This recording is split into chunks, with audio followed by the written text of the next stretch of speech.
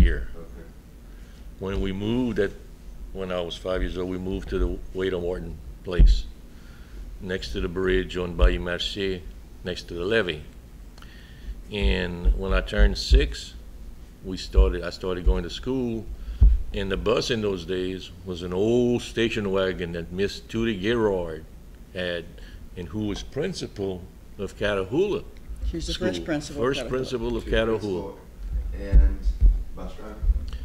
Well, yeah, it wasn't a bus, really, it was an old station wagon.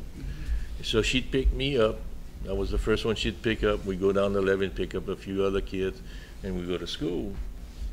I was always the first one at school, and the last one to leave school, so I had a long school day. And uh, you went, a lot of your, your older brothers would go to school maybe three days a week and then work two days a week. Were you, did you go to school every day? Uh, some of the, the uh, early uh, August, September school days, we really didn't go to school until late September. Towards September, we'd, uh, we'd have to do some work in the fields. And uh, it was accepted in those days. Uh, Anybody, any child that their parents were farmers, they could uh, ha- keep the child home and do the work until after Labor Day, I believe.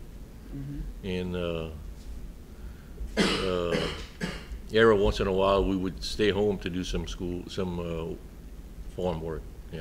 And this was uh, sugarcane? Or- or- Uh, we had cotton, sweet potatoes, sugar cane, corn in those days, corn to feed the animals.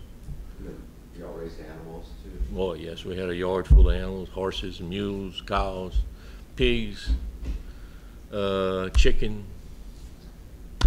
We had uh, all those animals, uh, you know, at our disposal.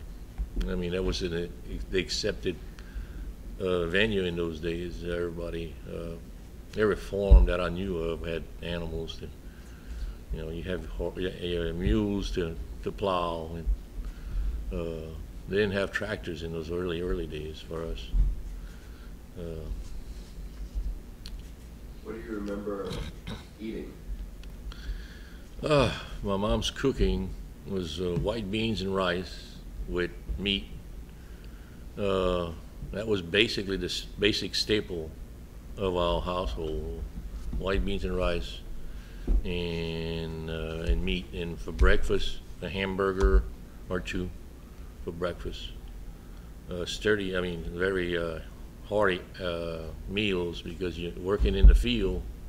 It takes a lot of energy and a lot of uh, uh, endurance. Do you remember uh, what y'all do for Christmas?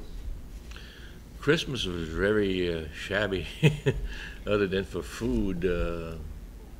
We uh, we had very little toys, anything like that. Uh, mostly, I'd share toys with uh, Eric, Eric Bona.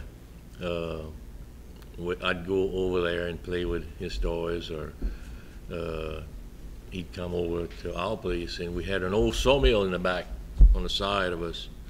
So we had a large, large uh, stockpile of sawdust. So Eric and I would play in that large pile of sawdust, and